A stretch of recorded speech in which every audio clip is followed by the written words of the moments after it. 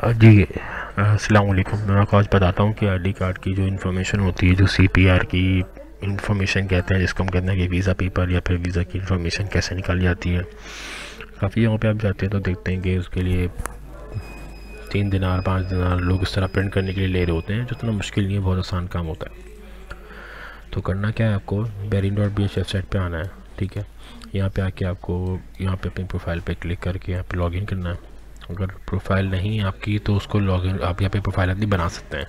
इसको इंग्लिश में कन्वर्ट कर लेंगे तो you don't have account registered वहाँ पे क्लिक करेंगे।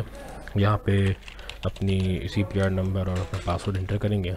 इसको लॉगिन करने के बाद जो है, इस तरह का होम पेज लॉगिन हो जाएगा, जिसमें आपका नाम वगैरह, बाकी की चीज़ें भी आ रही होती हैं, ठीक है? यहाँ पे अब क्या है कि किस तरह आप अपनी जो एक आपका वीज़ा इन्फॉर्मेशन है, वो आप निकालोगे। आईडी कार्ड पे क्लिक करेंगे, ठीक है?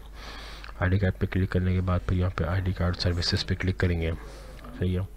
तो ये आपकी जितनी भी आप यहाँ से अपना आईडी कार्ड न्यू भी बनवा सकते हैं आईडी कार्ड इशू करवा सकते हैं, अपनी फैमिली की इन्फॉर्मेशन एडिट अपडेट कर सकते हैं अपॉइंटमेंट ले सकते हैं अपनी फैमिली और सी के लिए।